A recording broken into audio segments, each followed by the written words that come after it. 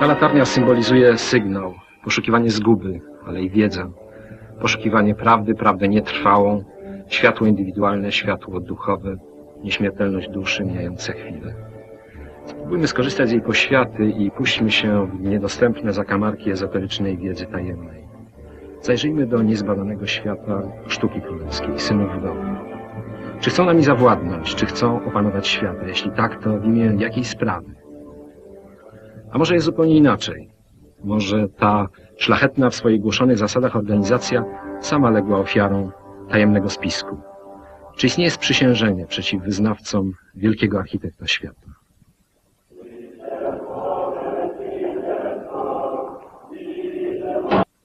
Piękna sekwencja, którą obejrzeliśmy, niestety w niewielkim stopniu zgodna z rzeczywistością historyczną. Raczej poetycka wizja Andrzeja Wajdy na temat poetyckiej wizji Stefana Żeromskiego. Tadeuszu, o tym może będziemy rozmawiać za chwilę. Na razie chciałbym, żebyśmy zostawili tę ilustrację początkową i porozmawiali o panu, o panach.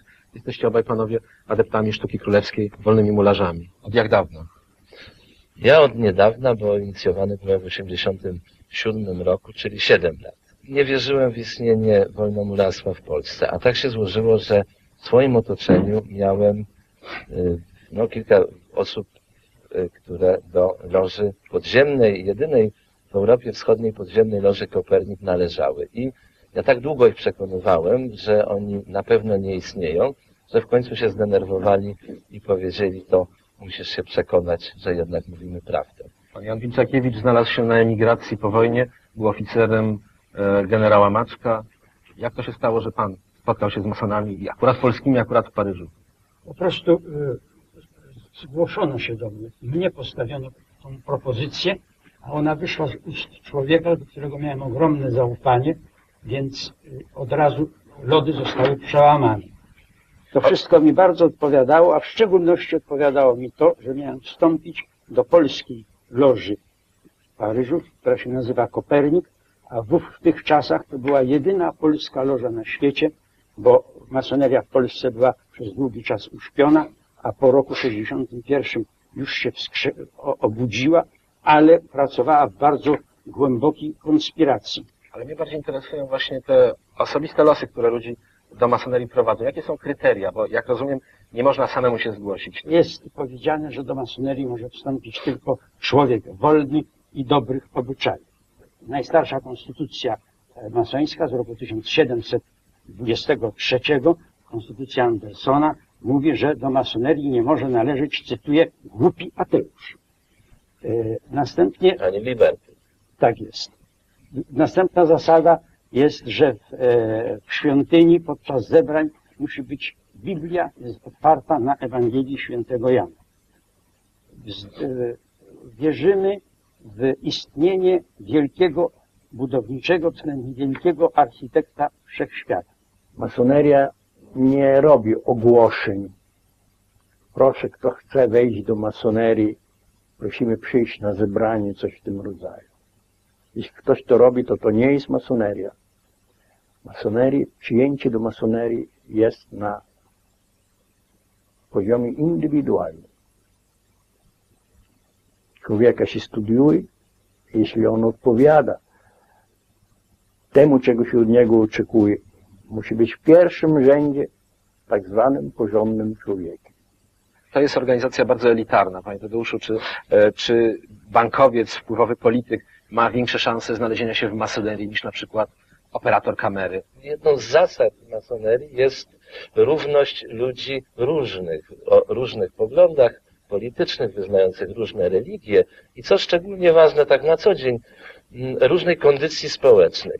Z tego wynika, że w loży powinniśmy spotkać również piekarza, aptekarza, zegarmistrza, e, nauczyciela, oficera, policjanta, no i wreszcie owego bankiera, czy, czy znanego artysty. I czy taki skład można znaleźć w lożach w Polsce? No, to jest ten ideał, do którego dąży każde wolnomularstwo, w tym również Wielka Loża Narodowa Polska. Chciałaby, żeby ten skład był pełny. To dotyczy również orientacji politycznej. Y, Idealna loża to jest taka, w której politycy przeciwnych partii, zgrzani jeszcze polemiką w parlamencie, przychodzą opadają z nich emocje i wreszcie jeden w drugim jest w stanie zobaczyć człowieka, brata, a nie polemistę czy A loże, przeciwnika. lo, czy w lożach w Polsce zasiadają przedstawiciele polskiego parlamentu? No to jest pytanie, na które y, powinni poszczególni wolnomularze odpowiedzieć. Ja w każdym razie przedstawicielem parlamentu nie jestem. Podobno na świecie powstało 80 tysięcy publikacji poświęconych masonerii. Czy można mówić nadal, że masoneria jest organizacją szczelnie okrytą mgłą tajemnicy? Jak ktoś to określił, tajemnicą tego jest to, że nie ma tajemnicy. Początki to jest okres sojuszu tronu z ołtarzem. To jest okres społeczeństw feudalnych, na, zwłaszcza na kontynencie, gdzie granice między Stanami były bardzo ściśle pilnowane.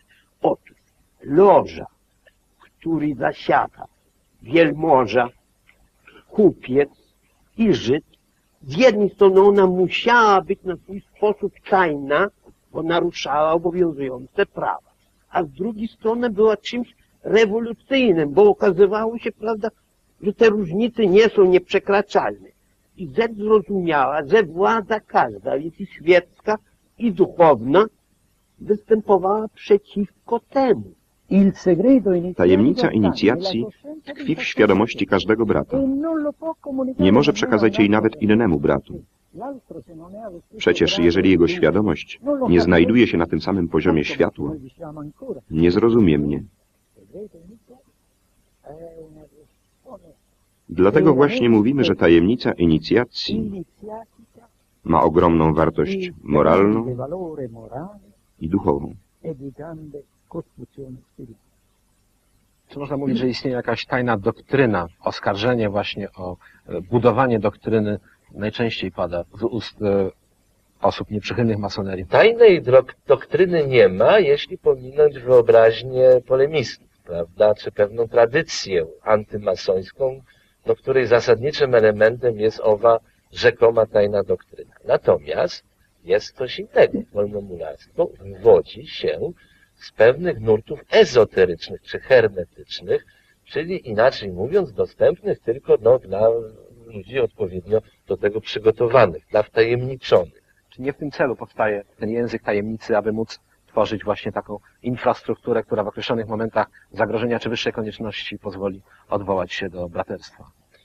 Y, Ten język rzeczywiście istnieje i każdy świeżo przyjęty do loży zostaje zapoznany ze znakami właściwymi dla jego stopnia. Te znaki, zdaniem niektórych historyków, e, po prostu są częścią tradycji mularskiej czy muratorskiej, e, którą wolne mularstwo spekulatywne odziedziczyło po masonerii operatywnej, czyli po budowniczych e, czasów średniowiecza. Chodziło o to, żeby odróżnić członka cechu od fuszera, prawda, od partacza. Ale gdybyśmy chcieli opisać, czemu służą te wszystkie e, symbole, które tutaj zgromadziliśmy na naszym stole i tych symboli jest znacznie więcej, niektóre są na kobiercu, e, czemu to wszystko służy?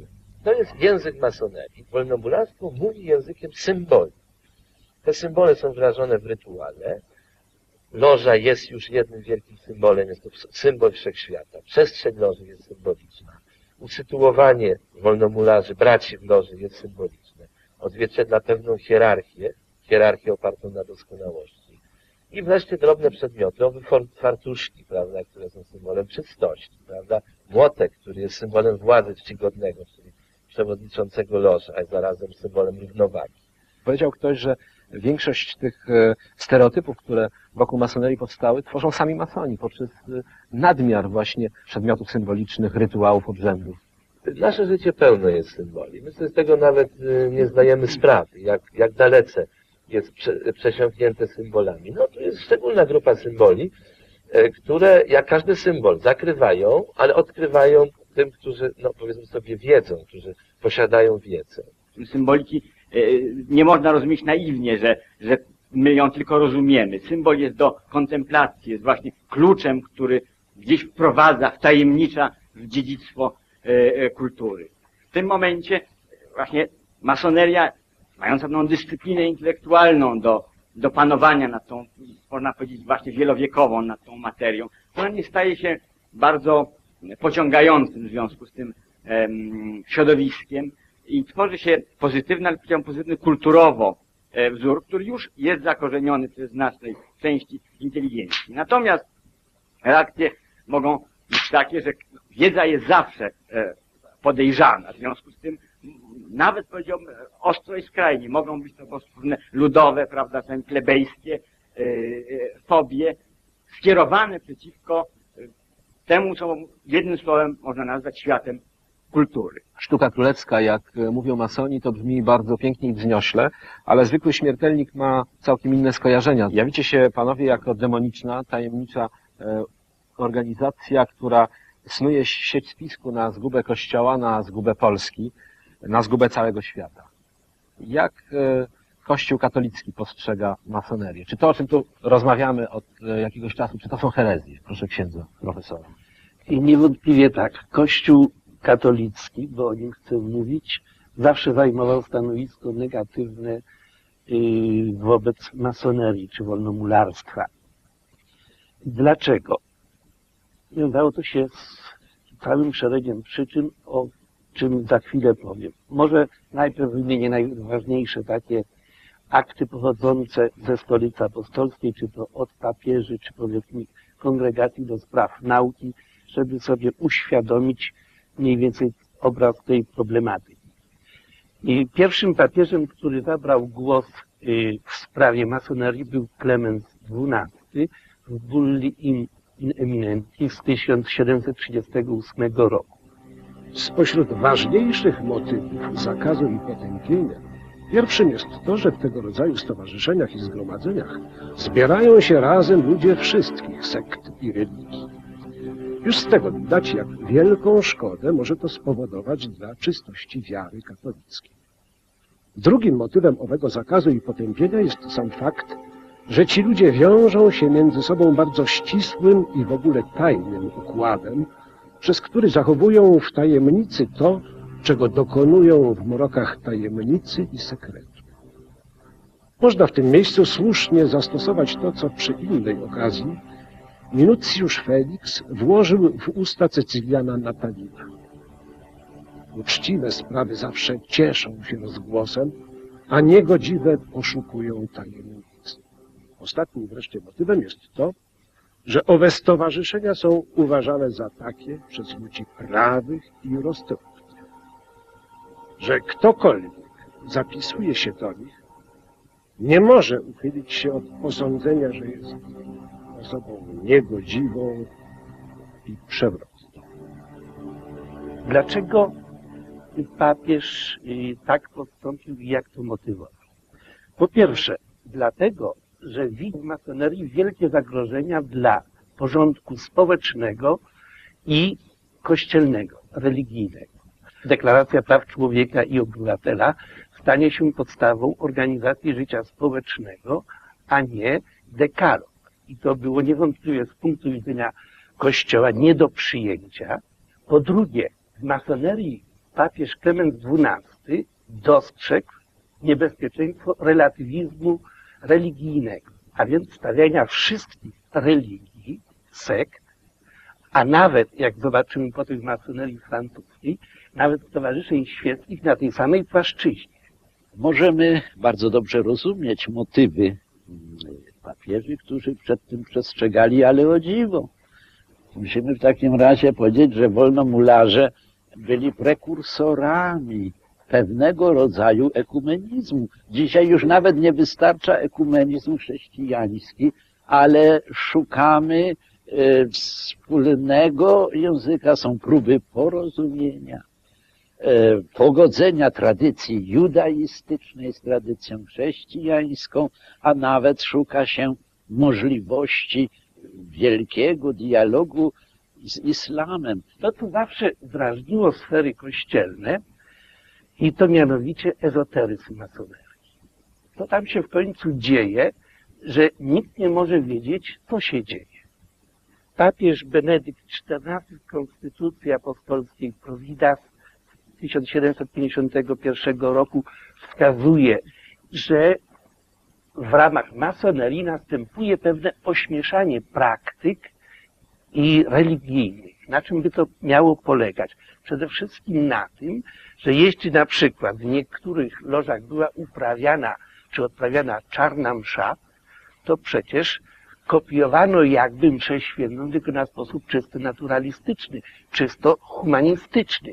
Dla nas, chrześcijan, było to nie do przyjęcia, bo to godzenie w podstawy Eucharystii dla przykładu, prawda? Podstawowego dogmatu dla życia Kościoła.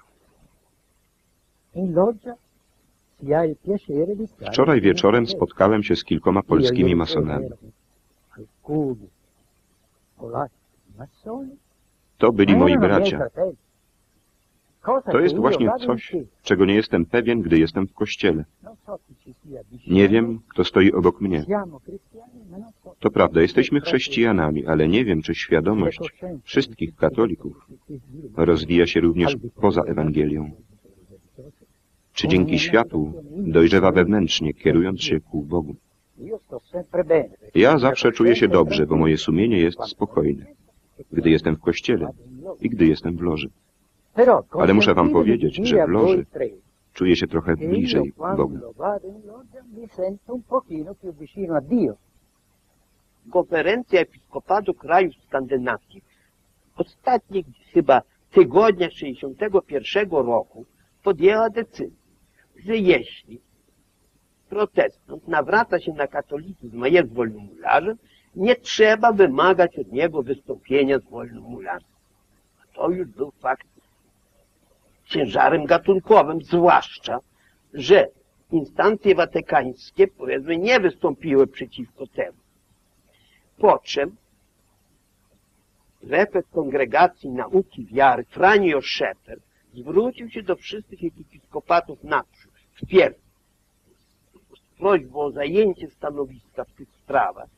W 1974 roku jest list tego Franio Szefera, prefekta kongregacji, który mówi, że właściwie katolik odpowie, będzie od, je należący do wolnomularstwa będzie odpowiadał za swoje czyny tylko, a nie za sam fakt przynależności. I w przyszłym kodeksie prawa kanonicznego zostanie usunięty. 2000 artykuł, czyli kanon 2335 zabraniający należenia pod karą ekskomuniki. Pan profesor z faktów historycznych próbuje wyprowadzać wnioski doktrynalne. I to są trochę sprawy inne. Rzeczywiście odwilż formalna ma miejsce, ale to nie znaczy, że Kościół za cenę powiedzmy koncesji, prawdy, kompromisu, prawda, szuka tych kontaktów. Czy możemy mówić o odwilży w stosunkach między Kościołem katolickim a masonerią i czy można wierzyć, że nadejdzie taki dzień, kiedy Kościół uzna masonów za swoich braci odłączonych? Pewna zmiana stosunku Kościoła katolickiego do masonów istnieje. Widać to choćby w tym, że w okresie przygotowawczym yy, do soboru yy, na 2000 wotów, jakie wpłynęły od biskupów, od przełożonych zakonnych uniwersytetów, akademii, wydziałów teologicznych, i tylko 15 dotyczyło, żeby powrócić do sprawy masońskiej i żeby jeszcze raz wyraźnie potępić masonów. Dziś już e, Kościół katolicki e, nie widzi masonerii jako wroga, bo zdaje sobie sprawę, że bardzo dużo ona przynosi dla ludzkości. Jest może troszeczkę tej zazdrości. Jeśli chodzi o inne religie, one są całkowicie otwarte. Czy protestanci, czy buddyści, oni są całkowicie otwarci dla, dla masonerii. Po wyborze na tron papieski kardynała Karola Wojtyły, e, Loża Kopernik postanowiła jednomyślnie wysłać do Watykanu następujący list. W dniu wstąpienia na tron stolicy apostolskiej, gorące i przepełnione radością powinszowania, przesyłają jego świątobliwości wolnomularze polscy. Łączymy się ze wszystkimi ludźmi dobrej woli w ogromnej dziś nadziei, że w osobie jego świątobliwości znajdą obrońcę i szermierza najdroższe dla nas wartości. I nie sam ten list jest e, interesujący, ale to, co nastąpiło później. Mianowicie e, miesiąc później Kopernik otrzymał z Watykanu za pośrednictwem nuncjatury paryskiej następującą odpowiedź w języku polskim. Sekretariat Stanu, wypełniając swój zaszczytny obowiązek niniejszym powiadamia, że Ojciec Święty Jan Paweł II z prawdziwą radością przyjął wyrazy szacunku i życzenia przesłane z okazji powołania go na stolicę Piotrową. w dowód wdzięczności udziela swojego apostolskiego błogosławieństwa, które jest zadatkiem obfitych darów niebieskich. Proszę e, księdza profesora, czy to nie jest najlepsza ilustracja, no, że wszystko idzie w kierunku pełnego pojednania. Oczywiście, że tak. Kościół jest otwarty na całą rzeczywistość, na cały świat, wszystkie kultury, wszystkie ugrupowania społeczne i ze wszystkimi chce prowadzić dialog. I ja chciałbym może, skoro jestem przy głosie, zadać dwa pytania do pana Wincakiewicza o wyjaśnienie takiej sprawy, bo mówił, że przyjmujecie wielkiego architekta świata, wielkiego budowniczego świata, a równocześnie wiemy, że we Francji, bodajże w 1877 roku, y, zniesiono to wezwanie w ich konstytucjach. Ponadto pozwolono też ateistom przynależeć do y, lóż masońskich. Jak to zatem jest właśnie w sprawie tej kluczowej dla nas, a więc w sprawie Boga? jest osiem odłamów masonerii. Jest e, e, Wielki Wschód Francji, który tutaj pod jego egidą założono w Polsce e, kilka lóż. Ma stosunek do religii, do religii tolerancyjny, ale przyjmuje również ateistów. Ale ma również charakter dość wyraźnie antyklerykalny i nawet y, wypowiada się oficjalnie, całkiem oficjalnie publicznie przeciw, za zniesieniem szkół religijnych we Francji. To są dwa różne odłamy. Dla nas istnieje zakaz chodzenia na zebrania lóż Wielkiego Wschodu.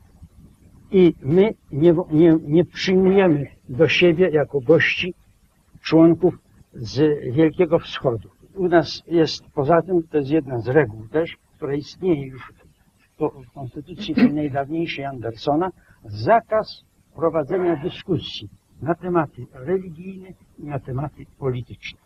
Oczywiście istnieje zakaz prowadzenia dyskusji politycznych w lożach. Zakaz, który nigdy nie był respektowany i nie będzie respektowany, bo masoneria jest organizacją przede wszystkim polityczną czy filozoficzno-światopoglądowo-polityczną. Funkcją masonerii jest realizacja celów masońskich, politycznych par excellence celów, która się odbywa głównie przez prace pozalożowe. W tym również i przez kontakty z duchowieństwem, co więcej, przez włączanie osób duchownych, to wybitnych osób duchownych do działań masońskich, chociaż nie lożowych. Zakaz pro- prowadzenia dyskusji na, te, na tematy religijne to jest jednocześnie zakaz atakowania religii, czy atakowania kościoła, czy podważania dogmatów itd. itd. A więc pełna lojalność wobec religii w liczbie mnogich. Ekumenizm, którego prekursorem, jak tu było powiedziane, była masoneria, jest już dzisiaj, powiedzmy, faktem dokonanym. Do naszej loży Wielkiej Narodowej Francji należy obecnie kilku księży i podobno jeden z nich ma zostać biskupem. Więc istnieją, istnieje pewna tendencja do zbliżenia. Oczywiście nieregularna, ale mamy nadzieję, myślę, proszę księdza dziekana, że my jeszcze obaj doczekamy się takiego pojednania za 100 albo za 200 lat. Tak? Czy ksiądz e, profesor również czeka na ten moment? Na powszechne braterstwo oczywiście. Proszę księdza profesora, ale to rozejście pomiędzy masonerią a kościołem wzięło się w czasach, gdy pojęcie ekumenizmu w ogóle nie było znane. Jak to się stało, że właśnie e, na drodze ekumenizacji zdołano nawiązać pewne porozumienie i wyciszyć spory, natomiast masoneria pozostała cały czas na celowniku, że tak powiem, obrazowo e, stolicy apostolskiej. Skąd się brały te właśnie uprzedzenia i ostre sądy w odniesieniu do masonerii? Jeśli ja wierzę w architekta świata, prawda, a w nim nie nawiązuje żadnej łączności, on jest odległy, nie interesuje się światem, prawda, to znaczy on istnieje dla mnie jakby fikcyjnie, nie ma żadnego realnego związku. W religii, jeżeli mówimy o realności religii, to musimy mieć faktycznie realne odniesienie człowieka do Boga, wierzą do Boga. Prawda? Jeżeli tego odniesienia nie ma, realnego, tam nie ma religii. I dlatego my w religii nie odnosimy się do symboli. One ma, mają nam tylko odbijać inną rzeczywistość, jakoś przybliżać, ale nigdy zastępować. Czy to pojęcie, o którym mówił ksiądz profesor e, wielkiego budownika świata, czy to ma odniesienie do chrześcijańskiej wiary? Ja myślę, że dotykamy tutaj wreszcie jądra pewnego nieporozumienia. Wolnomularstwo nie jest religią, nie jest parareligią, nie ma zastępować religii, nie, nie wchodzi w obszar, y, który zajmuje religia i jej instytucje. W związku z tym, jak świecka organizacja, co tu chcę bardzo mocno podkreślić, ma prawo sposób całkowicie świecki interpretować pewne zasady. Wielki architekt wszechświata nie jest bogiem masonów, bo tak się zazwyczaj rozumie, że o masoni to mają wielkiego budownika czy architekta wszechświata. Nie. Chodzi tutaj tylko o zaznaczenie, że porządek świata jest po pierwsze racjonalny, to znaczy został stworzony przez Boga. Jako katolik wydaje mi się, że masoneria jest e, jednym z wielu, ale jednym z wielkich wyzwań rzuconych nam przez naszą epokę. Wyzwań, które każe nam szczególnie, to wyzwanie każe nam szczególnie ostrożnie podchodzić do pokusy relatywizmu. Gdy idzie o tolerancję, to powiem, że w encyklice Pacem Interis ten wielki papież, którym był Jan XXIII, powiedział, że należy potępiać poglądy, a nie ludzi. Otwiera to możliwość szerokiego dialogu. Miejsce, rola masonerii w życiu publicznym, w życiu politycznym, e, w Polsce, w świecie, czy mają jakieś cele, czy zamierzają e, wpływać na rzeczywistość w sposób e, bezpośredni, czy zamierzają opanować świat i manipulować w imię jakiejś sprawy. Teoria spiskowa z miejsca powoduje uśmiech e, ironiczny na, na, na, na, na, na twarzach dyskutantów.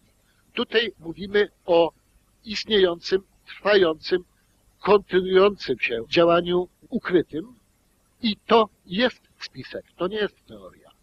Tak długo jak masoneria będzie organizacją, która z zasady przyjmuje tajność uczestnictwa, tajność przed innymi, e, będzie organizacją szkodliwą. I z tego punktu widzenia uważam, powinniśmy to rozważać. Jeśli chodzi o jakąkolwiek, jakiekolwiek zagrożenie ze strony masonerii w stosunku do e, świata zewnętrznego, jak, nim to nazywamy, to my żadnej władzy nie szukamy. My jej nie potrzebujemy. Naszą, naszą siłą jest poznanie samego siebie i rozwinięcie samego siebie. Oddanie tego potem stosunku do obywateli, jak i do państwa. A nikt i nigdy masonerii nie myślał o tym, żeby stworzyć czy rząd jakiś światowy, czy wpływ jakiś światowy, jakikolwiek. To jest naprawdę nonsens. Teraz chciałbym, aby Państwo e, zobaczyli ten materiał z obchodów 275. rocznicy założenia Wielkiej Loży Anglii. I on pokazuje prawda, skalę tego ruchu e, na Wyspach Brytyjskich, ale również poprzez obecność wielu przedstawicieli masonerii z całego świata pokazuje skalę tego ruchu na całym świecie.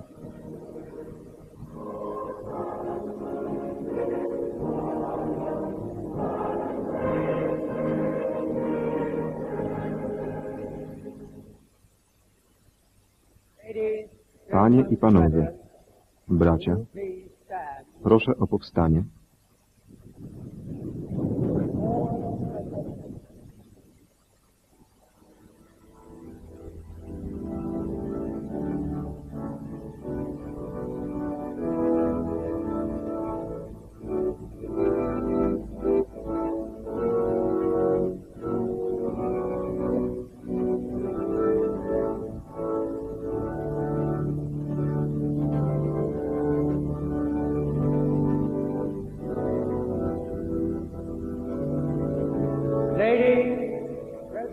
Panie i panowie, przewielebni bracia, proszę, powitajcie wielkiego mistrza.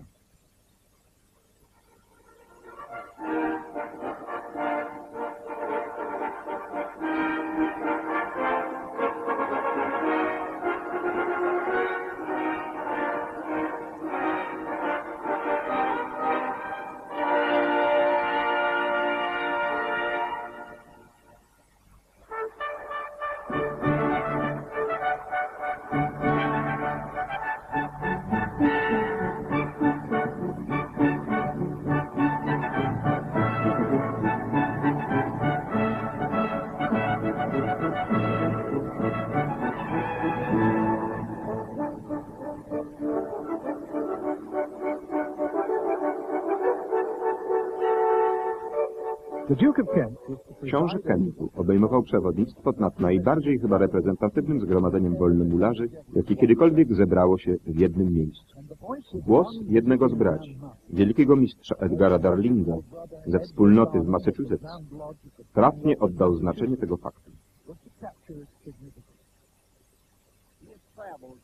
Przybyliśmy tu z dalekich krańców świata, aby odwiedzić miejsce narodzin naszego bractwa. To właśnie tutaj, 275 lat temu, nasi bracia spotkali się w pokoju i harmonii. Dali początek braterstwu, którego szczytne ideały i zasady praktykujemy po dziś dzień. Choć przybywamy z różnych krajów i mamy różne korzenie, łączy nas wspólna idea. Wszyscy jesteśmy masonami. Ściśle przestrzegamy zasad naszej sztuki. Masoni inspirują. Masoni budują. To marzyciele i budowniczowie, a przede wszystkim wolnomyśliciele. Poświęcamy się pryncypiom naszego bractwa. Żadna loża masońska nie może pracować bez Księgi Świętych Praw. W angielskiej konstytucji jest to Biblia, a także Tyrkla i Węgielnicy. Dzisiaj najstarsza loża w Anglii, Time and Memorial, wypełnia swój obowiązek. Dziękuję za przyniesienie Księgi Świętych Praw. Niech zostanie złożona na piedestale.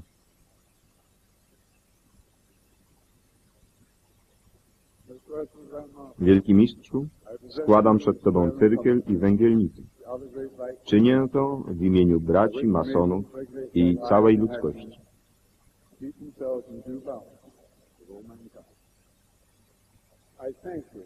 Dziękuję za złożenie cyrkla i węgielnicy.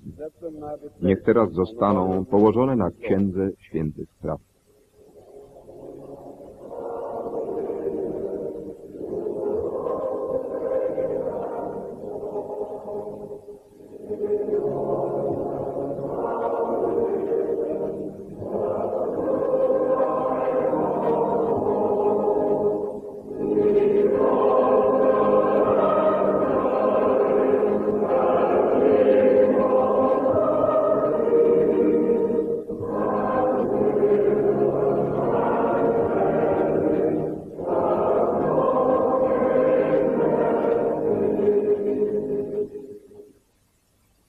Rozmaite zarzuty, że ten ruch, jeśli mu pozwolić działać w sposób nieskrępowany, może stać się rzeczywistym zagrożeniem dla funkcjonowania instytucji publicznych, dla funkcjonowania państwa. Ja dużo wiem o masonerii i niektórych masonach. Ja przez 20 parę lat sprawowałem blisko z masonem może spotkać średniego, profesorem Klemensem Czaniaskim, wspaniałym człowiekiem. Ja może sam bym został masonem, gdyby było prawdą to, co on mówił, jest to stowarzyszenie ludzi, którzy po sporach spotykają się, żeby bez emocji, chłodno, porozmawiać o konsekwencjach takich czy innych, e, politycznych, społecznych. Bardzo chętnie został. Niestety prawda jest zupełnie inna. Yy, za masonerią idą pewne trendy polityczne. W Anglii, gdzie znacznie mniejsze konserwatystów była za wejściem do Europy, ale drobna grupka dobrze zrobionych masonów wprowadziła, wbrew woli partii konserwatywnej, Wielką Brytanię do Europy, yy, wbrew woli partii. To jest bardzo ciekawe, ciekawe. To, co twierdzą, że masoni sobie bardzo pomagają i tak dalej w karierze, to są bajki. Może się zdarzyć, że jakiś brat coś dla drugiego brata zrobi, a dlatego, że go ceni, nie dlatego, że jest masonem. Masoneria jest międzynarodowa. Co to znaczy? Nie ma władzy światowej, nie ma władzy e, międzynarodowej. Każda obediencja krajowa jest obediencją suwerenną. Ale to, co jest międzynarodowe przede wszystkim, to braterstwo. Gdziekolwiek się zjawi, w jakimkolwiek większym mieście, gdzie jest loża masońska, mogę do niej zapukać. Jestem przyjęty z największą sympatią, z największą życzliwością. Jeżeli czegoś potrzebuję, to, to moi bracia udzielą mi pomocy. Pan tutaj mówił przecież, że yy, każdy mason, który będzie do innego kraju, spotyka się z poparciem i piwym przyjęciem. To się nazywa po polsku kumoterstwo. Masoni uruchamiają proces kumoterstwa i w wyniku tego starają się, podejrzewam świadomie, może nieświadomie, tak jak bakteria, świadomie podżywa kompost, prawda? Żeby przepisy w danym kraju były możliwie skomplikowane. Bo jak one są skomplikowane, to wtedy mie- miejscowy mason, no w tym masonowi pomoże, a kupiec, który nie należy do masonerii, jest bez szans konkurencji, bo nie zna potwornie skomplikowanych przepisów. Będą też zawsze za, za socjalizmem, żeby dawać koncesje, żeby nie było wolnego rynku, ponieważ jak są koncesje, to jeden mason drugiemu masonowi udzieli koncesji. I kupiec, który nie ma znajomości wśród aparatu, jest bez szans. I dlatego masonerię należy uśpić, jak to mówicie, jak najszybciej, zanim ona zniszczy nas, mimo najlepszej woli człowieka. Że masonie w Polsce mają trudne przesądy do zwalczenia, to niewątpliwe. Że będą mieli drogę trudną, to jest jasne. Ale masonie są do tego przyzwyczajeni od wieku. Aby nie odnosić się wyłącznie do przykładu Francji i Wielkiej Brytanii, pozwolę sobie zacytować e, fragment sprawozdania z uroczystości, która miała miejsce w Waszyngtonie 23 października 1993 roku. Odbyła się e, rytualna uroczystość położenia e, kamienia węgielnego pod Kapitolem w 200. rocznicę wzniesienia tego gmachu. E, Ta ceremonia zgromadziła przed zachodnią fasadą Kapitolu kilka tysięcy braci wolnomularzy różnych obrządków, ale przede wszystkim ze Stanów Zjednoczonych i w ich gronie znaleźli się prezydent USA William Clinton jako mason senior de Molay, przewodniczący Izby Reprezentantów Thomas Foley, przewodniczący frakcji większości i mniejszości w Senacie George Mitchell i Bob Dole. Pokazuje to również e, e, fantastyczne powiązania masonerii w Stanach Zjednoczonych i jej obecność w, w życiu publicznym i w życiu e, politycznym. Jeżeli rzeczywiście w krajach anglosaskich tradycja masońska każe, czy niejako wynika z tej tradycji związek z instytucją państwa, no to chyba nie jest tak źle dla państwowości, prawda? E, Bo e, trudno byłoby nam zaprzeczyć, że państwowość amerykańska i demokracja amerykańska, notabene przez wolnomularzy tworzona, jak również demokracja brytyjska, no mimo różne trudności, mają się jednak bardzo dobrze. ten aspekt solidarności pomiędzy, lojalności pomiędzy wolnomularzami, który z jednej strony może być postrzegany jako rzecz bardzo piękna, z drugiej strony e, staje się rzeczą groźną, jeśli jest to solidarność ugrupowania, które się tej solidarności na zewnątrz nie deklaruje. Jest powszechnie przyjętą rzeczą w Anglii, acz trudną do udowodnienia, że w brytyjskiej poli- policji oficer nie ma co liczyć na promocję, jeśli nie jest wolnularzem. Co w praktyce oznacza, że e, zasady wolnej konkurencji e, zostają tutaj złamane. Jak odpowiedzieć na ten zarzut o kumoterstwo postawiony, który inaczej można by nazwać chyba no, skutecznym działaniem lobbystycznym. No, znamienna była dyskusja w Anglii, która się ostatnio odbyła, y, gdzie to jest inaczej, to znaczy, że masoneria jest związana z obozem konserwatywnym i gdzie w parlamencie lejburzyści właśnie wysunęli projekt y, ustawy, e, która by nakazywała wszystkim kandydatom do urzędów publicznych deklarować przynależność do organizacji tajnych. Początkowo związki zawodowe bardzo energicznie poparły ten projekt, natomiast potem się okazało, że regulacja, która by jakoś specjalnie traktowała wolnomularzy, pociągnęłaby bardzo poważne skutki prawne, które by ugodziły również związki zawodowe. Chciałbym zapytać pana profesora e, Hasa, jak to wygląda e, w życiu publicznym w Polsce. Czy pan jako badacz współczesnej masonerii może potwierdzić tę tezę, że e, wolnomularze w Polsce zaczynają rozszerzać swoje sfery wpływów, że są coraz mocniej obecni w e, sferach politycznych i że mogą zacząć oddziaływać jako poważny, silny lobby? Krótko mówiąc powiedział, myślę, że wątpię. Bo według moich szacunków wszystkie odłamy wolnomularstwa w Polsce, a mamy dzisiaj trzy odłamy. Wielka Loża Narodowa, siedem lóż Wielkiego Wschodu Francji i tak zwana Loża y, obrządku mieszanego, tam gdzie kobiety i mężczyźni należą na równych prawach. To moim zdaniem łącznie nie przekracza 200 osób. Ponieważ przynajmniej część jest wiadoma, to można powiedzieć, no, ile by pozostało tych wielce wpływowych. Dalej, jeśli jedna, okazałoby się nawet, że jedna czy trzy osoby wielce wpływowe są, to one mogą tylko na, w tym przypadku przy pomocy swego autorytetu osobistego wpływać i załatwić, ale tego zaplecza organizacyjnego, chociażby powiedzmy w kampanii wyborczej, loże opowiedzą się wielu. Nie ma tego. W Polsce na dzień dzisiejszy to jest raczej Rozumiem, że masoni mają małe szanse wysunąć własnego kandydata na prezydenta i przeprowadzić skutecznie Nie przez tylko to. eliminację, ale w ustach e, krytyków masonerii pada często, często zarzut, że masoneria stara się przeforsować pewne projekty, pewne programy e, z dziedziny polityki międzynarodowej, choćby koncepcja euroregionu w ustach wielu krytyków pada jako wymysł masonerii, jako próba e, zanegowania polskiej tożsamości narodowej. Był taki okres, kiedy rzeczywiście wolnomularze, ale nie masoneria, to znaczy poszczególni wolnomularze mieli wielkie ambicje uszczęśliwiania świata.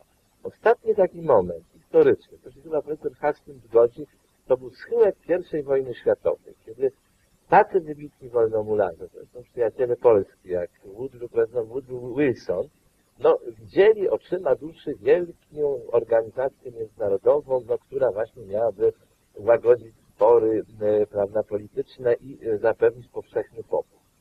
I rzeczywiście e, jakby w działalności politycznej tamtego okresu widać sobie refleks idei wolnomularskich. No niestety, to była utopia, to jest utopia, prawda? I oczywiście ona się, nie, nie udało się jej wcielić w życie, a Liga Narodów była organizacją słabą, prawda, źle skonstruowaną. Ja myślę, że po tamtym doświadczeniu dzisiaj nikt rozsądnie prawda, w ten sposób nie będzie myślał i żaden prezydent ambicji swoich politycznych nie będzie lokował w masonerii. On ma zbyt wiele innych instrumentów oddziaływania. Przepraszam bardzo, pan mówi, że masoneria jest narzędziem nieużytecznym. Otóż nieprawda, jak pan wie, raz na dwa lata, o ile pamiętam, zbierają się przywódcy państw, należą do masonerii, prawda, oni się zbierają i omawiają, tam podają ważne decyzje, prawda? Jakie jest kryterium, że, że, że akurat prezydent USA, prawda, premier Anglii, jeszcze kilkunastu innych krajów. Dlaczego ci, a nie inni? To są akurat ci, którzy należą do. To jest bardzo ważne pole uzgadniania właściwych, ważnych decyzji, o których bardzo mało mówi. Był tam premier y, Krzysztof Bielecki, który o ile wiem wolnomularzem nie jest, y, może kiedyś będzie chciał. Także już byłby y, pierwszym wyłomem w tej zasadzie. Nie każde zgromadzenie, którego klucza nie znamy, jest wolnomularskie. No właśnie to jest taki schemat myślowy, prawda, że wszystko co nieznane, no to co, co budzi nas zaniepokojenie, nie? czasami może i słusznie, jest od razu wolnomularskie. No to jest klucz, który ma otworzyć wszystkie zamki. Nie ma takiego uniwersalnego wytrycha. polska masoneria, okresie, kiedy się odbudowywała po długim okresie nieistnienia w XIX wieku, była organizacją par excellence polityczną i niepodległościową. Była to przede wszystkim grupa Zarania, która wytworzyła ruch ludowy w Polsce i Partia Wyzwolenie. Była to w wielkim stopniu, nie mówię całkowicie, bo nigdy takich nie ma e, zależności, w wielkim stopniu organizacja powstała z inspiracji masonerii kapituły Wielkiego Wschodu. Po drugie, co jeszcze ważniejsze, cały ruch spółdzielczości w tym okresie, który odgrywał ogromną rolę w latach 908-914, była to baza, która wychowała około 60 tysięcy działaczy gospodarczych, przecież w Polsce ich praktycznie wtedy nie było. E, Wszystko, co powiedział przed chwilą pan Giełżyński, e, potwierdza moje obawy. E, Dlatego, że wskazuje na to, że stosunkowo niewielka grupa osób może mieć potężny wpływ na to, co się wokół nas dzieje. Czy e, w społeczeństwie praworządnym, w społeczeństwie, które kieruje prawem i kieruje się, powinno się kierować zasadami otwarto- otwartości, można biernie pozwolić na to, żeby funkcjonowały organizacje, które z natury rzeczy działają w ukryciu i działają w sposób e, kumoterski, jak to powiedział pan Korwin-Mikke. Jak rozumiem, tutaj w tej materii porozumienia nie ma, ponieważ e, panowie wolnomularze podkreślają, że tylko pewne aspekty działalności są tajne, że działalność e, w znacznym stopniu jest, e, jest jawna. Na tym zgromadzeniu, które widzieliśmy, zgromadzeniu w hali Elskortu, zebrano blisko półtora miliona funtów, które przekazano na cele dobroczynne, takie jak e, szpitale dla dzieci chorych na raka. No jest to tradycja wolnomularska i trudno sobie wyobrazić y, prawidłowo funkcjonującą lożę, która coś do worka wdowiego, czyli do funduszu, czy na fundusz charytatywny nie przeznaczy. No ale sądzę, że nie tak prędko y, wolnomularstwo w Polsce, a i w ogóle w Europie będzie miało takie osiągnięcia, jakie ma masoneria amerykańska. No, są to kwoty zupełnie gigantyczne, idące, idące w miliardy dolarów, więc y, no, trudno nam sobie w ogóle coś takiego wyobrazić. Ale jest to cechą masonerii szczególnie amerykańskiej i w ogóle, i w ogóle anglosaskiej. Księże profesorze, jak ten aspekt działalności wolnomularzy jest postrzegany przez Kościół? Chodzi o to, i czy ta działalność wypływa rzeczywiście i jest rzeczywiście bezinteresowna, czy też za nią się niekiedy nie kryją jakieś ukryte mechanizmy, które potem się wykorzystuje dla uzależnienia odpowiednich ludzi od siebie.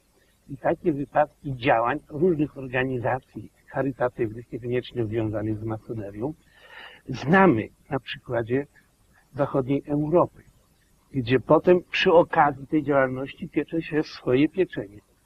Trudno chyba podsumowywać tę całą dyskusję.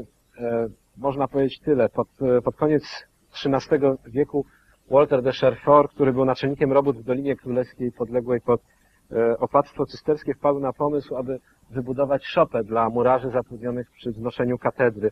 I jak zauważa słusznie Zbigniew Herbert, nie spodziewał się chyba, jak e, błyskotliwą karierę polityczną zrobi ta nazwana e, z francuska loża. Myślę, że masę stereotypów i e, niejasności zostało podczas tego spotkania wyjaśnionych i mam nadzieję, że będą się odbywały następne tego typu dyskusje na tematy inne, o których chcielibyśmy wiedzieć więcej, a które postaramy się przedstawiać w cyklu Latarnia Magiczna. Dziękuję bardzo wszystkim Państwu.